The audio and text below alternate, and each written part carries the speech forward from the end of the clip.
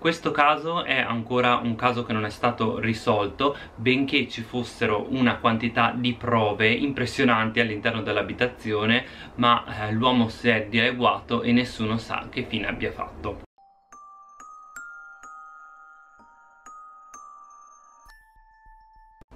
Ciao a tutti ragazzi e benvenuti su questo nuovo video, un nuovo video True Crime.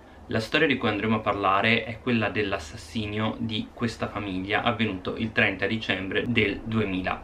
Questa famiglia era la Miyazawa Family. Immaginatevi la scena, un uomo ha ucciso l'intera famiglia, è rimasto nell'abitazione per 10 ore e poi se n'è andato questa più o meno è la storia ma ci sono dei dettagli veramente macabri che vorrei condividere con voi. Ho deciso di trattare di questa storia perché dal momento che sono passati 20 anni a breve, mi sembra dopo 22 anni che un crimine eh, è stato scoperto, comunque avvenuto se in 22 anni, non vorrei dire una cavolata però mi sembra 22 o 25 anni un assassino non è stato catturato praticamente cade l'accusa. Non so se funziona così anche in Italia però siccome sta eh, per finire comunque eh, il periodo in cui questo assassino potrebbe venire catturato sono sparsi un po' per tutto il Giappone dei poster rappresentanti questa storia, questa vicenda che è venuta a Setagayaku e cercano di eh, arrestarlo. Vi posso far vedere un'immagine per esempio di un poster che ho visto proprio davanti a casa in cui appunto si cerca di trovare questo assassino. Prima di iniziare con questo video vi ricordo che uscirà il mio nuovo album il 10 di settembre quindi se volete prenotarlo vi lascio in descrizione il link per farlo e in ogni caso anche in questo momento potete andare su Spotify a ascoltare la mia musica Lasciate un mi piace se volete altri video come questo. Cercherò di pubblicare nuovi video true crime eh, Tutti i lunedì e tutti i giovedì a luna di pomeriggio E davvero non sapete quanto mi fa piacere vedere che eh, apprezzate questi video Perché richiedono veramente un grosso lavoro E se mi aiutereste anche solo con un mi piace a condividere la vostra passione che avete per questi video Ve ne sarei veramente grato. E inoltre vi ricordo che ogni sabato pubblico video sul mio canale di Giappone. Se volete andare anche su quel canale ve lo lascio in descrizione o anche nelle schede di questo video. Ma adesso partiamo. Questo caso è ancora un caso che non è stato risolto benché ci fossero una quantità di prove impressionanti all'interno dell'abitazione ma eh, l'uomo si è dileguato e nessuno sa che fine abbia fatto. Ma andiamo ad analizzare chi erano i membri di questa famiglia? Allora il padre era eh, Mikio e aveva 44 anni. La moglie invece di 41 si chiamava Yasuko e poi avevano i due figli rispettivamente di 8 e 9 anni la figlia Mina e Rei che potete vedere nella foto. Mikio lavorava per Interbrand che è questa marketing firm di Londra mentre Yasuko lavorava come insegnante. La famiglia si era trasferita in una zona piuttosto residenziale chiamata Setagaya tra l'altro piccolo fatto divertente io ho anche vissuto in questa zona. Si sono trasferiti nel 1999 e c'erano circa 200 case tutte abitate da famiglie spesso con figli quindi una bella zona dove andarsi a trasferire. La loro casa è questa che potete vedere vi ho fatto fatto vedere un po' di immagini qui da Google Maps era un'abitazione divisa in due la famiglia di Mikio-san abitava in una di queste due ale di questa casa mentre dall'altra parte della casa era dove vivevano comunque la, la madre e i fratelli insomma in lo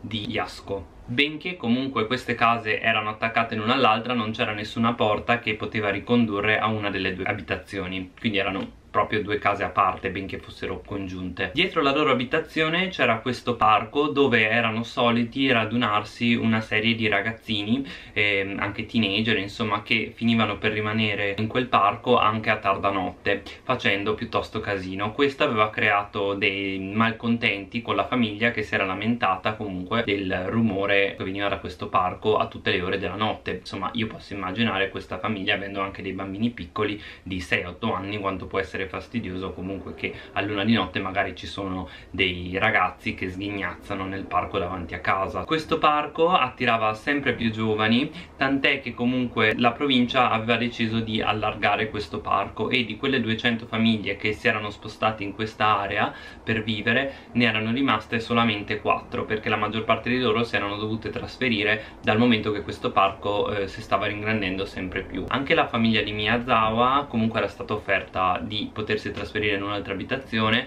tuttavia eh, prima che questo trasferimento fosse avvenuto qualcosa di terribile è successo. Appunto la ragione per cui sto facendo questo video dopo tutto. La famiglia Miyazawa sembrava una tipica famiglia giapponese normale nulla da dire uh, non avevano particolari nemici o altro. Tuttavia sembra che comunque eh, nella settimana precedente al capodanno quindi l'ultima settimana dell'anno del 2000 Mikio-san si sia confrontato con un gruppo di skaters che giocava nel parco chiedendogli di tenere il rumore un po' più basso, il volume della musica o della loro voce basso perché comunque stavano dormendo e era tarda notte. Sembra che tra l'altro ci sia stato un testimone che ha anche visto questo Mikio parlare con una gang di motociclisti chiedendo anche in quel caso di non fare troppo baccano. La notte del 30 dicembre l'ultima notte che la famiglia è stata vista viva la famiglia si stava preparando per il capodanno. Dovete sapere che a capodanno di solito non è come il capodanno italiano. In Giappone il capodanno si festeggia con la famiglia, un po' come il nostro Natale. Ci si ritira per qualche giorno, non si va nei negozi si preparano questo sechiriori eh, che praticamente è questo tipo di cibo che si può mangiare eh, per vari giorni senza che vada male e si passa del tempo con la famiglia anche perché eh, è uno dei pochi momenti in cui tutti sono in vacanza quindi si può proprio trascorrere un po' di quality time con i propri familiari quella sera sembra che comunque eh, tornati dal lavoro i genitori siano andati con la famiglia a fare la spesa e sono tornati nell'abitazione verso le sei e mezza. La madre di Yasuko ha chiesto se i bambini volessero andare a casa sua a guardare un po' di televisione quindi i figli Rei e Mina sono andati a casa della loro nonna fino alle nove e mezza e tra l'altro attraverso delle investigazioni si è scoperto che fino alle 10.38 Mikio-san doveva essere ancora in vita dal momento che ha controllato la sua email. Era la sua email di lavoro e sapete le email di lavoro ci hanno un sacco di step per eh, accedere quindi solamente lui sarebbe stato in grado di poter accedere alla sua email. Quindi alle 10.38 sicuramente Mikio era ancora in vita. Nessuno poteva aspettarsi che cosa sarebbe successo di lì a un'ora poco. La mattina seguente alle 11 Yasuo Tedesco ha telefonato alla famiglia Miyazawa per poter chiedere quali sarebbero stati i piani per il pomeriggio e se avessero magari trascorso dell'altro tempo insieme. Tuttavia quando ha telefonato si è resa conto che la linea era stata interrotta. Dal momento che ha notato che la linea era stata interrotta ha deciso di andare direttamente nella loro abitazione per vedere che cosa era successo. È andata alla porta, ha suonato il campanello, ha bussato ma nessuno sembrava rispondere. Quindi ha usato la sua chiave che aveva, aveva comunque accesso alla famiglia comunque si tratta della madre di una di loro normale che abbia la chiave è entrata e quando è entrata ha trovato il corpo di Mikio che era stato praticamente pugnalato a morte in fondo alle scale proprio all'entrata dell'abitazione. Qua vi faccio vedere una mappa un po' dell'abitazione ha trovato il corpo qui. E dovete sapere che mm, questa donna poi si è recata in cima alle scale e è stato lì che si è trovata davanti ai suoi occhi il corpo della sua figlia e anche della sua nipote che erano stati anche loro eh, pugnalati. In qualche modo erano stati pugnalati in modo anche più violento di come era stato pugnalato Mikio e, mm, e, io non posso immaginare che cosa abbia eh, provato in quel momento. Ha toccato i corpi di, di sua figlia e della sua nipote e ha detto che erano freddi e io non, non veramente è una cosa terribile. E mm, la nonna si è quindi recata nelle altre stanze per vedere se ma magari Ray si era salvato l'altro figlio tuttavia lo ha trovato nella sua stanza nel suo letto strangolato a morte. Potete immaginare lo shock che ha provato questa nonna e anche quello che ha provato la polizia quando è arrivata in questa abitazione. Entrando nell'abitazione sono riusciti a trovare un gran numero di prove. Hanno trovato un coltello per tagliare il pesce un coltello da sashimi che non apparteneva alla famiglia Miyazawa. Tuttavia sembra che sia stato usato anche un altro coltello per colpire eh, alcuni dei eh, membri di questa famiglia. Inoltre eh, sulla scena era stato trovato anche il sangue che non apparteneva ai membri della famiglia Miyazawa quindi il loro assassino si era ferito durante questo attacco. Inoltre sembra che l'uomo abbia cercato comunque di curare le sue ferite con uh, quello che avevano in casa e sembra che durante queste sue ore che ha trascorso in questa abitazione abbia inoltre consumato eh, del melone che aveva trovato nel frigo e del gelato che aveva trovato nell'ice cream. Inoltre aveva provato a accedere un po' a tutte le carte di credito di membri di questa famiglia che erano state tutte piazzate praticamente su un tavolo del soggiorno. Le sue impronte erano un pochino per tutta la casa addirittura era andato nel bagno senza tirare l'acqua cioè immaginatevi cioè ma non lo so lo schifo anche di questa persona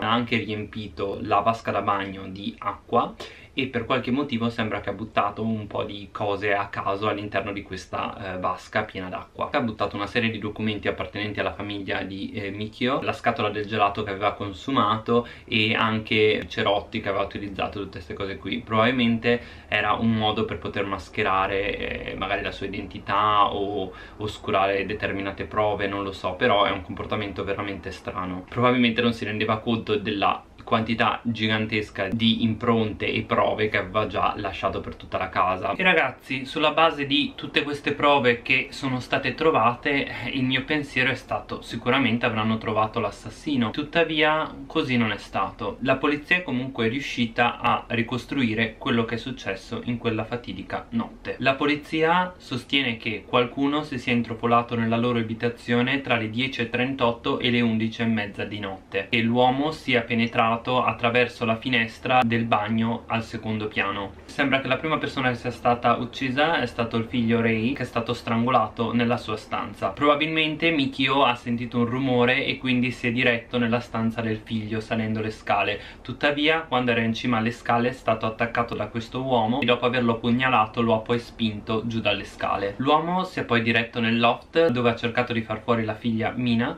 tuttavia l'arma che utilizzava si deve essere rotta durante questo attacco e quindi si è diretto in cucina dove ha preso un'altra arma. Nel frattempo che si è diretto in cucina la madre probabilmente insospettita da alcuni rumori si deve essere recata anche lei nel loft dove con una coperta ha cercato di eh, fermare eh, la fuoriuscita di sangue dalla ferita che l'uomo le aveva procurato.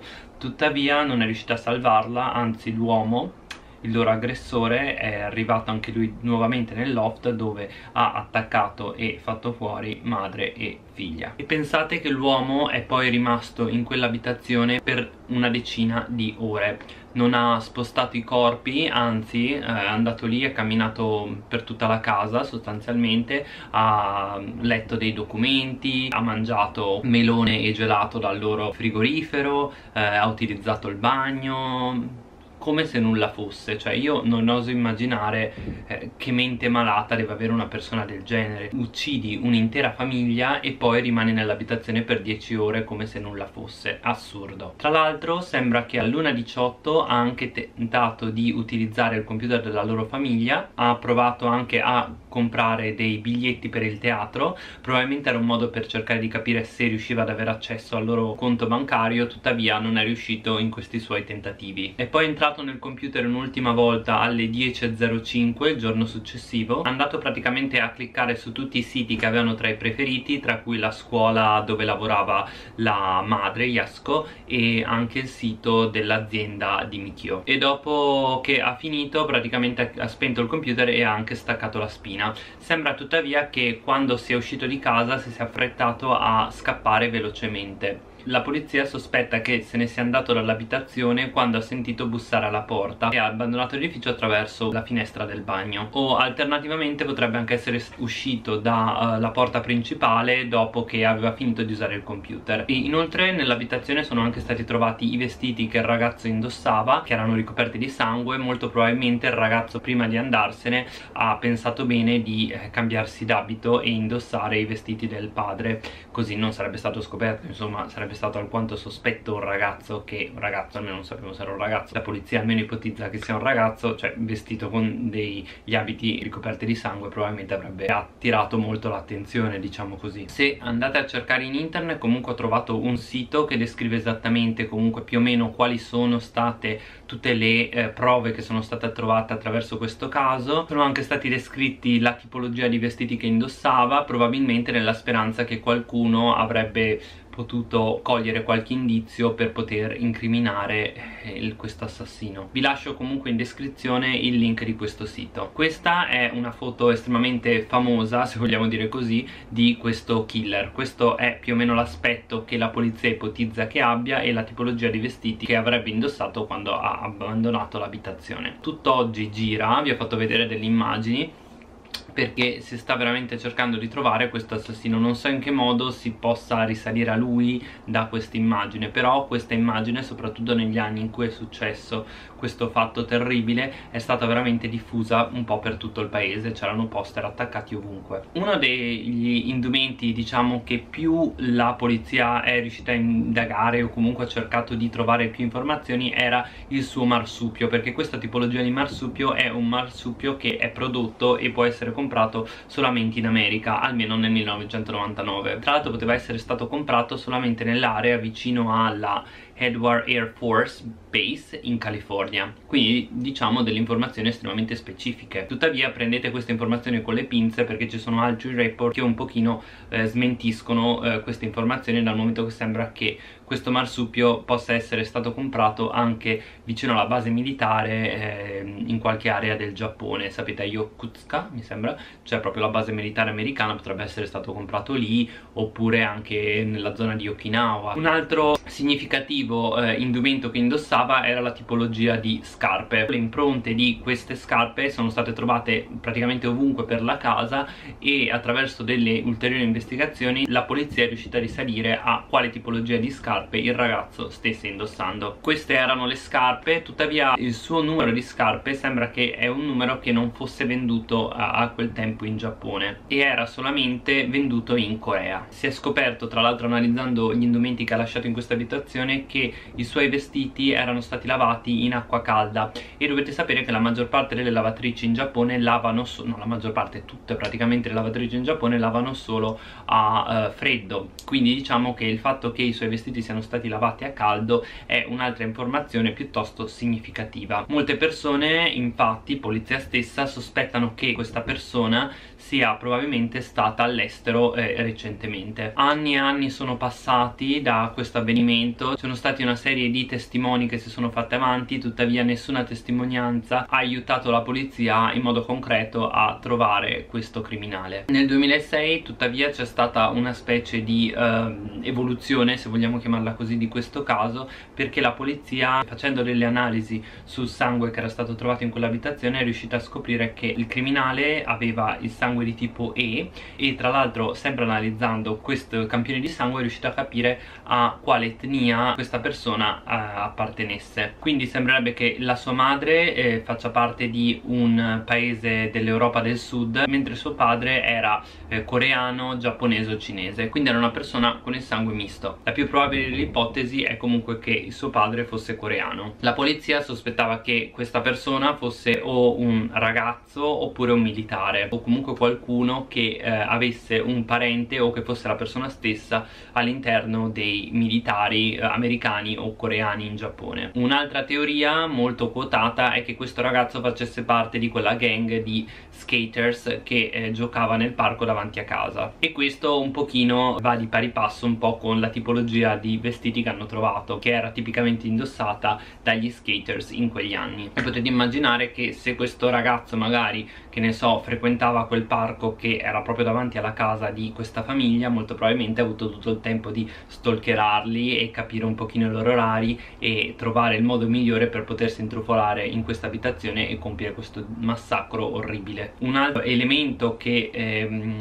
potrebbe essere considerato sospetto comunque avrebbe potuto dare alcuni indizi di che cosa sarebbe successo di lì a poco è che in quest'area, in quel parco sono stati trovati molti animali che sono stati maltrattati cioè più che maltrattati mutilati si pensa per puro divertimento. È stato trovato per esempio un gatto. Nell'agosto del 2000 a cui era stata tagliata la coda. Subito dopo questo incidente è stato trovato anche un gatto con, pensate, un'unghia impiantata nell'occhio. E nel dicembre, sempre dello stesso anno, è stato trovato anche un gatto a cui sono state tagliate completamente le gambe con qualcosa di affilato. E pensate che questo gatto era talmente stato ferito gravemente che il giorno seguente ha purtroppo perso la vita. Dovete sapere che tutti questi casi tutti questi incidenti sono avvenuti molto vicini all'abitazione di questa famiglia e il criminale che ha compiuto queste azioni ignobili non è mai stato trovato. Personalmente io credo che tutti questi casi che sono avvenuti, questi maltrattamenti di questi animali siano in qualche modo collegati a questa persona che